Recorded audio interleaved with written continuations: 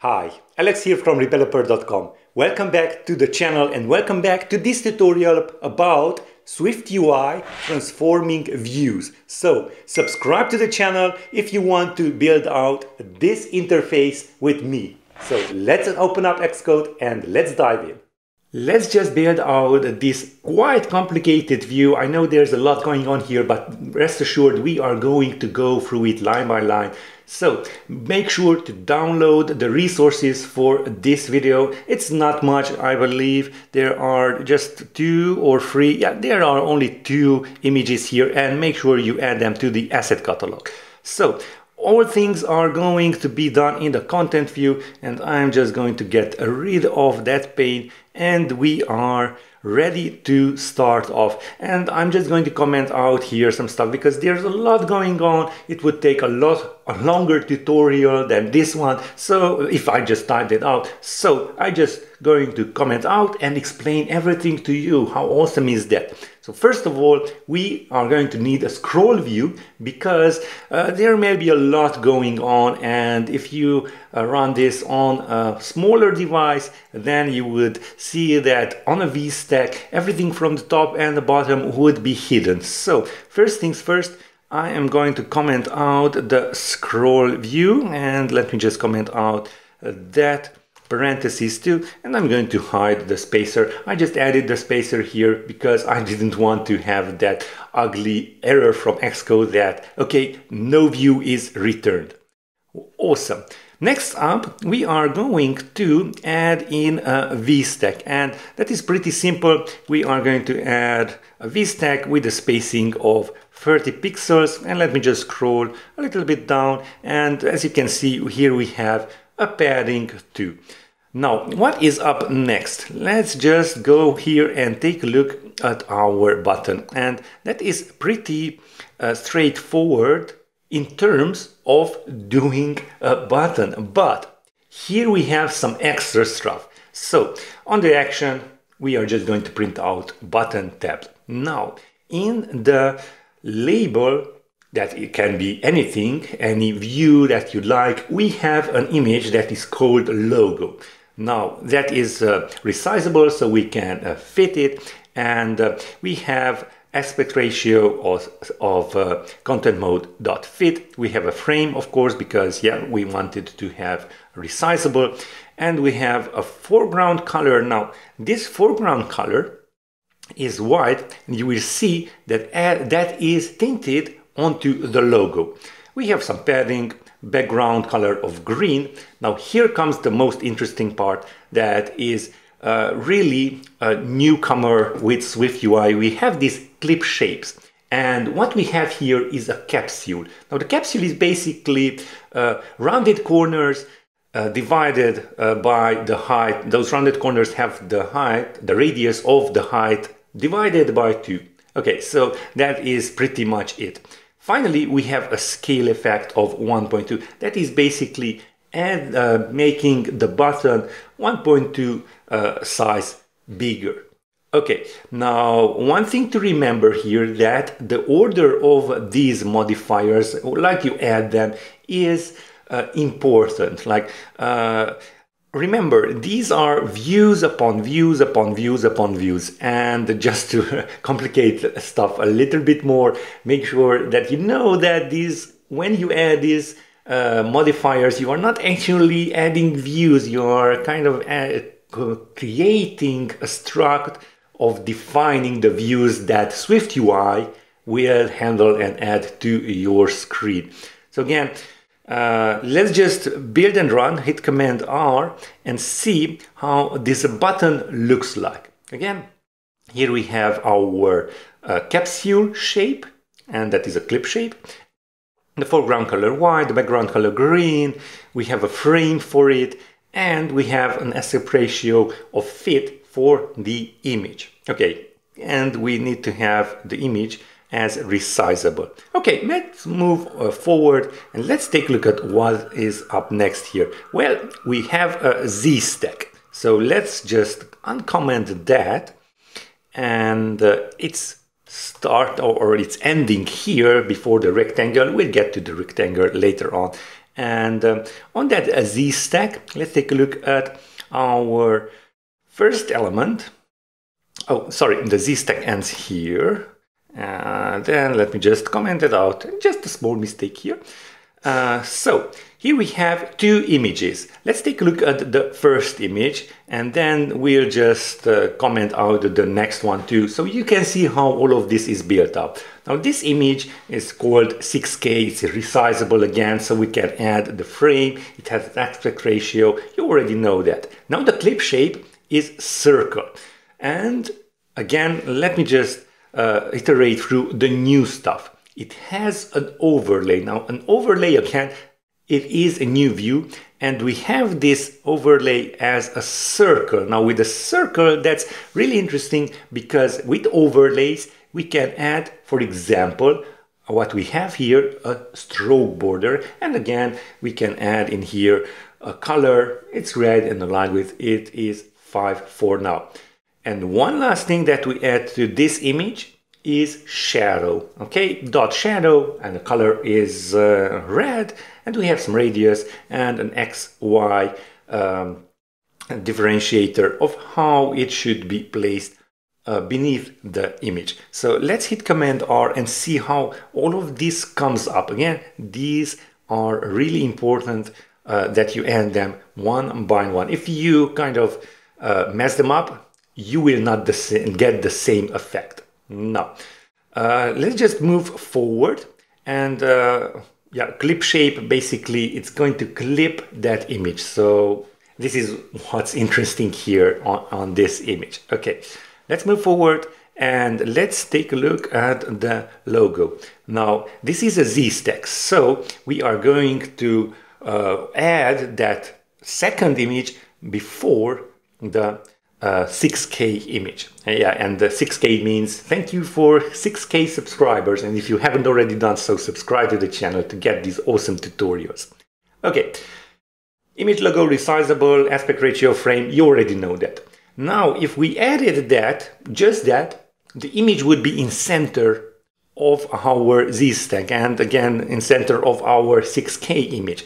But that is not what we want because let's just take a look at it. I don't want to add that uh, image of logo right in center of it. I want to add it a little bit down to the left. So what I do here is add an offset of minus 60 and uh, the Y is uh, 40. So that is how I just move that to a little bit to the left and uh, to the bottom. Now, uh, next up, again, a new stuff because yeah, you wanted to know about transforming views is blend mode. We want to colorize that logo, okay? And we are going to use the blend mode of multiply. And because we want to color multiply it with the red color, okay? That's this line. And we can add saturation and contrast. I just added in here just for fun. Okay, let's just hit Command R and see how that looks like. Okay, it has succeeded. And there you go. So as you can see, uh, this reddish color is not the same as the foreground color of uh, this PNG image of the logo. It, it has a saturation and contrast, so you can play around with that. Okay, let's move forward. Now we have a text, okay? We have a text with, let me just comment that line out too, there we go with a Rebeloper and something strange is here. It's, it's dot modifier. What is that modifier? And as you can see, we already have in here a custom modifier. Well, you could grab all of these, any of these, and then you could add it into a modifier, that's correct, and reuse them over and over again. That was what is this modifier view builder is. So let's just scroll a little bit down and uh, show you how uh, this is built up. So basically we are creating a view modifier and one thing to remember here, it needs to have a body with a content and it's returning some view. That is of course. Now we are grabbing the content, we're adding a foreground color and a padding. That's it for now. So now you can basically uh, add themes to any type of view that you want in your app. You can have rounded corner buttons, you can have, I don't know, background colors and so on with paddings and so on. for any type of view. I use this a lot in my code modifiers. They are really lifesavers in terms of uh, not repeating your code over and over again. And again, we have an overlay of this time a rounded rect, uh, rectangle of a corner radius 16, just so you know that we can have that. And on that overlay, we are adding a stroke. You already know stroke. And this time we are having color blue and line width 4. So let's build and run and see how uh, this looks like. Real, real nice. So just a simple text with our button. And as you can see, the custom modifier does its thing. It has red foreground color and a padding before we add that overlay. How awesome is that? Okay, let's move forward and take a look at the subscribe text. Now, uh, we are manipulating or trying to learn to manipulate uh, this text as a string. So we are adding a font, a foreground color, a padding. You already know foreground color and padding. But now you can see that here we have a font and it is dot large title. Now there are quite a lot provided by default uh, from Swift UI. I'm just you know, going to use large title. Background color is red.